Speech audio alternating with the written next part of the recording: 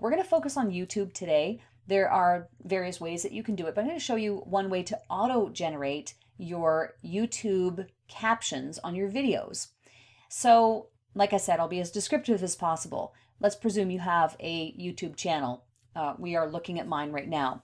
I'm choosing a short video for demonstration purposes here. So go into your into the videos that you have and choose the video that you've already published to YouTube. And what you'll do is you um, you click on it and you get into the um, I, I guess this would be called the video manager. Let me pause that so we don't hear my actual video there. So where we are now is we are in the portion of the video where we could either you know share it or embed it. Um, what we want to do is we want to click on the subtitles, the little CC um, at the bottom in the boxes. So we're going to click on Subtitles CC, and that brings us into a new box that has the, the video in question. And then over to the right hand side, we can see a blue bar that says Add New Subtitles or CC, and then another box that says Purchase New Subtitles or CC. What we want to do is we're going to add, click on the blue box that says Add New Subtitles or CC. We're going to choose our language, which in this case is English. And then you'll see a list. It'll say select your method. Choose how you want to add subtitles or closed captions to this video. What I'm going to show you how to do is the create new subtitles. We click on that bar and then the video box moves over to the right hand side. But on the left at the top, there's an actions box. It's a drop down menu what you do is you click on the actions box and there's three, uh, there are three choices. Auto generate, upload a file, or download. What we're gonna do here is auto generate.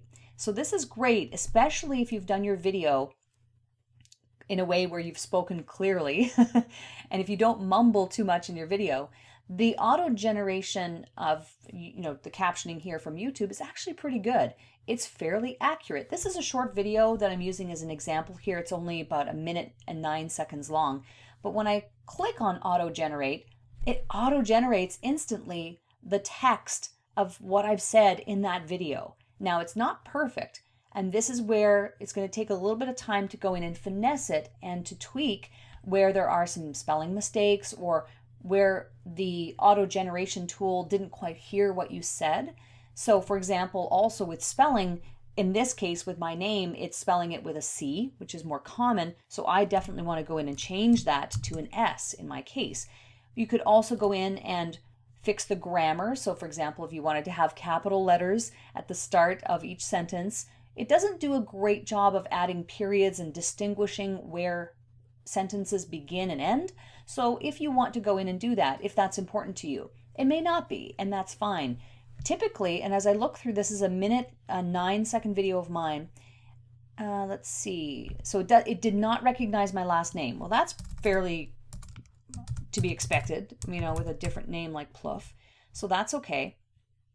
So I want to add hey, because I know I said hey everybody. It's Sheryl Plouffe here.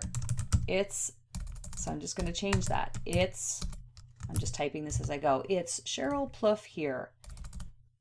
Hopefully, and I'm going to add, you are doing well. Thank you so much for expressing your interest in coming to our live seminar.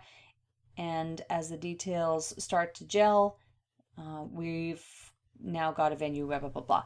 So it goes on and on. It, there aren't that many mistakes. As I look through this right now, I can see that, know, there's a few little places where I could change. It didn't quite understand uh, the word that I was speaking in the video at that point.